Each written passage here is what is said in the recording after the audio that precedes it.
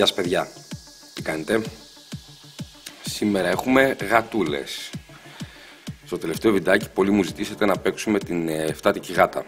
Έτσι λοιπόν αγοράσαμε 5 κομμάτια της γατούλας. Σε αυτό το παιχνίδι πρέπει να βρούμε ή το 7 ή τη γάτα για να διπλασιάσουμε το ποσό. Λοιπόν, ελάτε να ταξίσουμε παρέα. Πάμε στο πρώτο.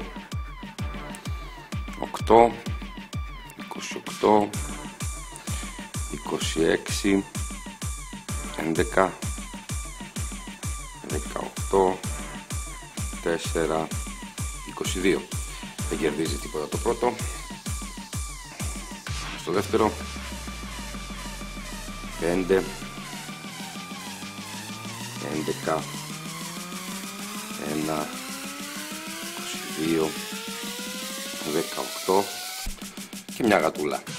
Λοιπόν η γατούλα διπλασιάζει το ποσό. 19 ας το αφήσουμε στην άκρη. Θα το ξύσουμε στο τέλος. Πάμε τα επόμενα.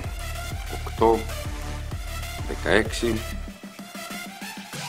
25 13 5 29 20 στο επόμενο 22 25 19 9 και άλλη γατούλα. 12 18 Ας τα αφήσουμε και αυτό στην άκρη και πάμε να αξίσουμε το τελευταίο.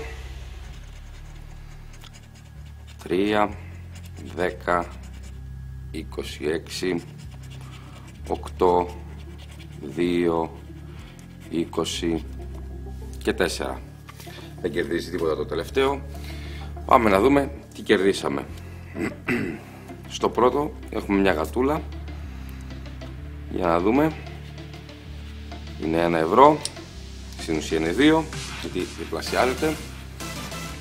Πάμε και στο επόμενο. Εδώ έχουμε 2 ευρώ 4 ευρώ και 2 ευρώ 6 ευρώ. Δώσαμε 10 πήραμε 6 στην ουσία χάσαμε 4 αλλά με αυτά τα 6 θα πάρουμε κάποιο καινούργιο παιχνίδι στο επόμενο επεισόδιο. Κάντε ένα like αν σας άρεσε το βίντεο γίνετε συνδρομητές στο κανάλι μου αν δεν είστε. Γράψτε μου ποιο θέλετε να είναι το επόμενο παιχνίδι που θα παίξουμε και μέχρι το επόμενο επεισόδιο Γεια σας! 6 Στη ρίχτρα 3